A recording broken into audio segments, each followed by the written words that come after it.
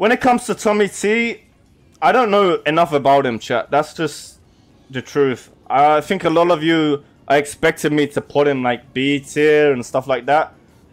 But I don't know enough about the the character. Um the Mandem like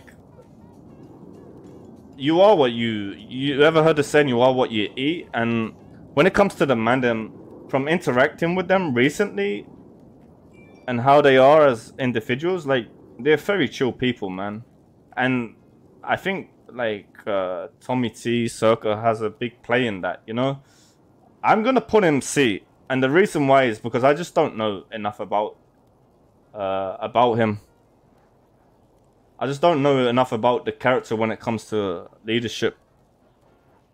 And I think, how long has he been leading the Mandem? Is it like a year? He built the Mandem from nothing. Yes. Do you know what I like about Circa? Is when he came to NoPixel, he could have done things a lot differently, right? But he decided to build his own thing and go his own way do his own stuff, and for that, you gotta give the guy a lot of respect. You know, like he did his own thing, and he didn't. I'm sorry, but there's a lot of people that like lick ass, and he isn't. He isn't a, a lick ass. You know, he he's got his own mind, and he does his own thing.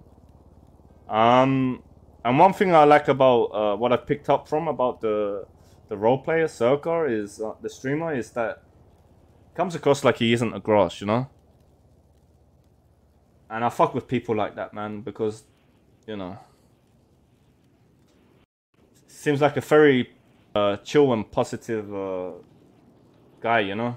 I fuck with him a lot. Who's this? Is this... I'm guessing this is supposed to be Gulag Gang, right?